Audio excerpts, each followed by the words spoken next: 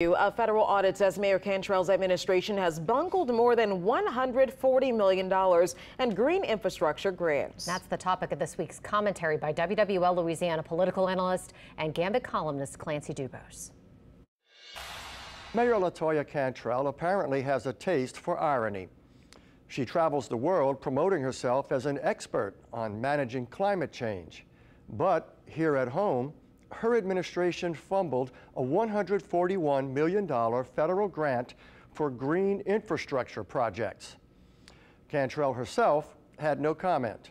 Her team blames COVID, a cyber attack, and hurricanes.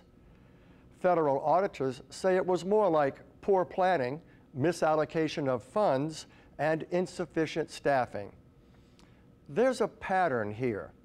Cantrell also failed to spend $38 million in FEMA funds to clean up Municipal Auditorium. Now, you'd almost have to work at it to achieve this level of failure. Amid all this and a federal investigation, Cantrell seems to have checked out. Sadly, the people of New Orleans don't have that luxury. This has been an expression of opinion by Clancy DuBos. Email your thoughts to commentary at WWLTV.com.